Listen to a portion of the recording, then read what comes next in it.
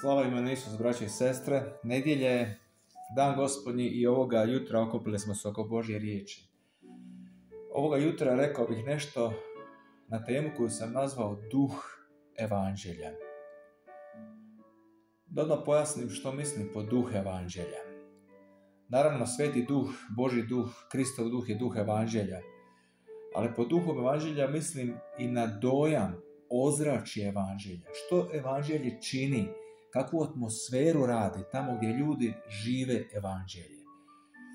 Svaki čovjek za sebe zrači nečim. Obitelj zrači. Pa i cijele države zrače nekim dojmom. Možemo to nazvati duhom. E tako istinsko evanđelje ima svoj miris, svoju atmosferu koju stvara.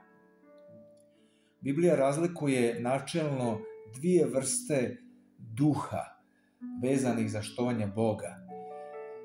Jednu vrstu naziva duh zakona, a drugu vrstu duh slobode, duh evanđelja, duh milosti, duh novog saveza možemo reći. Centralna točka zakona bio je zahtjev za savršenom pravednošću. Dakle, traži se od čovjeka da sam bude savršeno pravedan. Ovaj zahtjev proizvodi u čovjeku strah i smrt.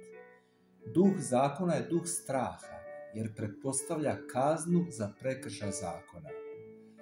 Po duhom zakona čovjek se ne osjeća voljen, ne osjeća se prihvaćen i ne osjeća se siguran.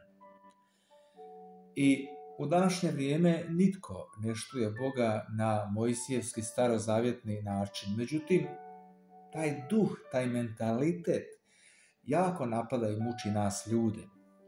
Još nas nekako uspijeva varati.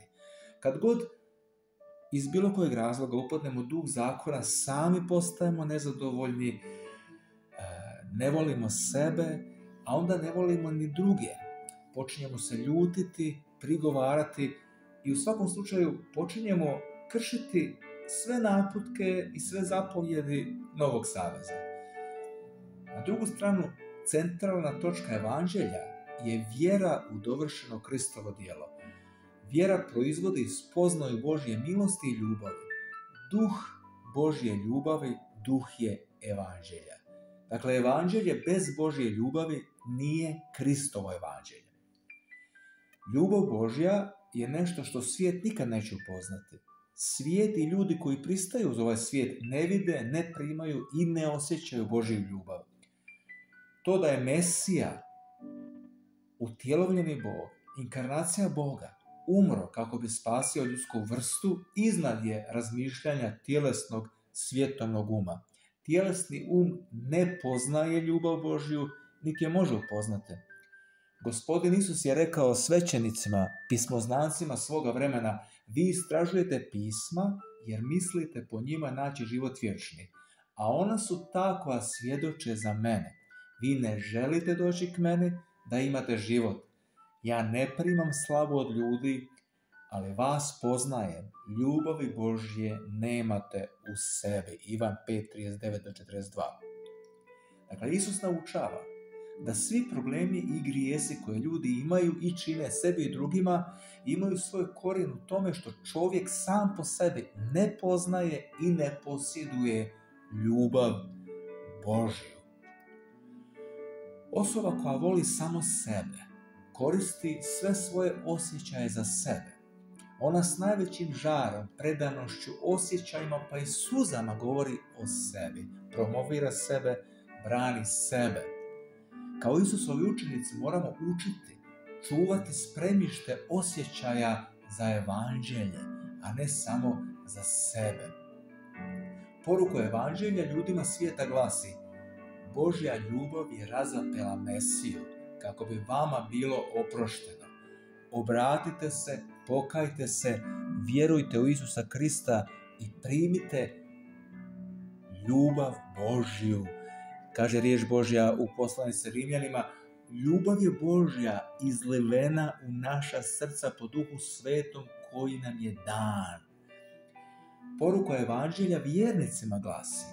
Milošću ste spašeni po vjere, badava ste primili oproštenje, opravdanje, posinjenje i ljubav Božju. Sad badava dijelite oproštenje, prihvaćanje i ljubav, prvenstveno braći i sestrama po vjeri, a onda i svima ostalima. Manifestirajte svojim životima evanđelje. Griješiti protiv evanđelja znači griješiti protiv ljubavi Božje. Apostol Ivan je zapisao, mi znamo da smo prešli iz smrti u život jer ljubimo braće i sestre. Tko ne ljubi brata i sestru, ostaje u smrti. Prva Ivanova 3.14. Sveti duh primjenjuje na vjernicima dovršeno djelo Isusa Krista.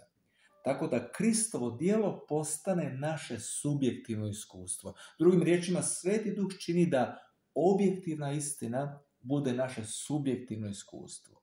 Odnosno, nauke evanđelja pretvara u naše životno iskustvo. Tamo gdje nema ljubavi Božje, nastaje idolopoklonstvo. Vidite, samo ljubav Božja može učiniti da nismo idolopoklonice. Što je idolopoklonik? Idolopoklonik štuje Boga da bi od njega nešto dobio. On ljubi to nešto što se nada dobiti od Boga. Što god to bilo.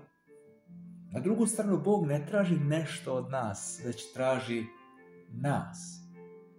Bog je taj koji je osobno pocijepao zastor u svetištu, pošto je iz ljubavi prema nama ubio svog sina, piše u Marku 15.38.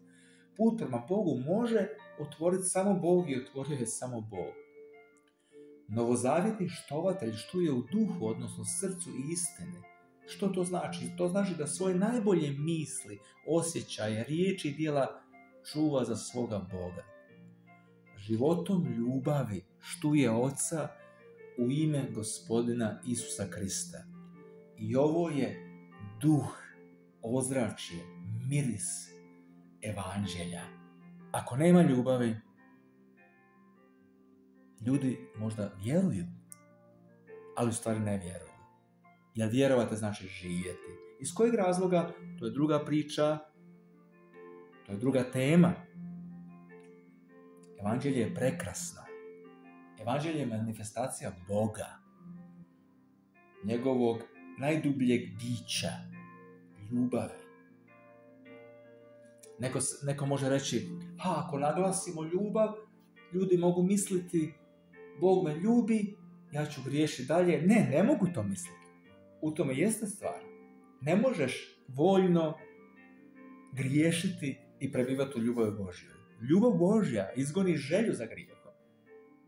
Ljubav Božja izgoni želju za osvetom. Ljubav Božja izgoni želju da budeš, da budem, da budemo u pravu. Ljubav Božja izgoni želju da se i sa kim raspravljamo. Ljubav Božja ne voli sve ono što ne voli Bog.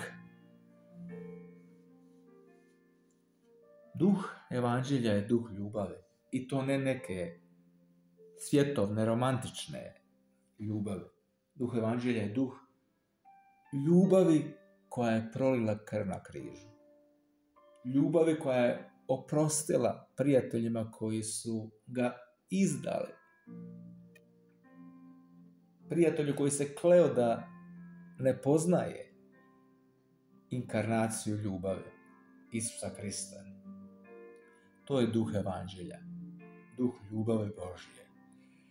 Oče, naš koji jesi na nebesima, pomozi nam da mislimo, govorimo, krećemo se i što god da radimo, radimo u duhu evanđelja. Neka vas Bog blagoslovi.